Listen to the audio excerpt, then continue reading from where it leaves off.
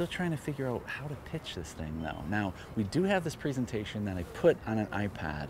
It's only two minutes long. I, I just don't know if it's too weird to say, hey, will, will you watch this for two minutes? But I'm thinking, I'm thinking that's what I'm gonna try.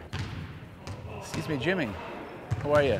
I'm Matt Liston. How are you? Good, how are you? Good. Well, let me ask you this. Would you ever be willing to take a free throw with your eyes closed?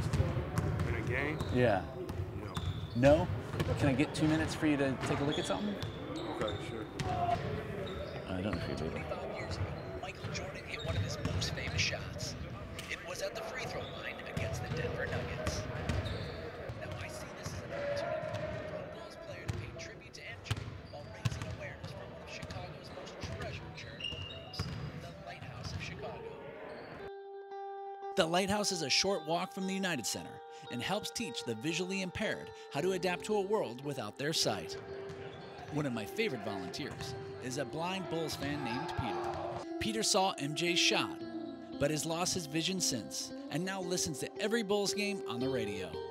Do you think I, I can get a Bulls player to take a free throw with his eyes closed? Yes, focus on Dwyane Wade and Jimmy Butler. Just those two.